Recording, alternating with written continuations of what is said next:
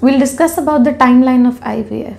IVF is a very complex process, but to understand it well, we should know how the timeline of IVF works. It is important that the woman who is seeking infertility treatment by IVF sees the infertility specialist on the day 1 or the day 2 of the menses.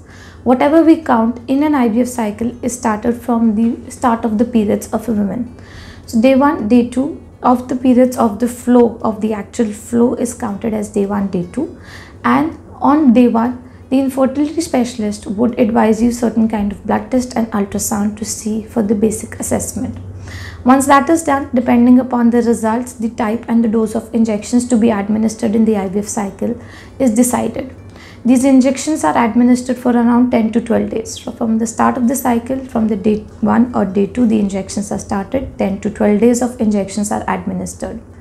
On the final day of injection, which is likely to be the 12th day of injection, a trigger injection is given, following which 36 hours later the egg retrieval is done. So that would be the day 14th of the cycle of the women. These eggs are retrieved out and this is counted as day 0 of the embryos.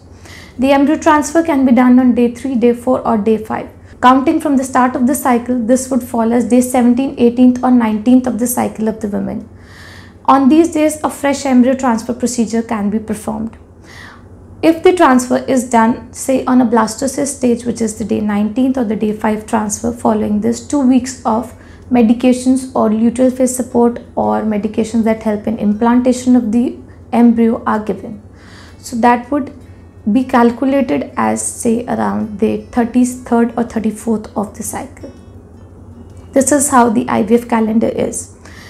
So a cycle would roughly last for a month and we get to know about the pregnancy results right after the end of the cycle by doing a simple beta HCG blood test or a urine pregnancy test.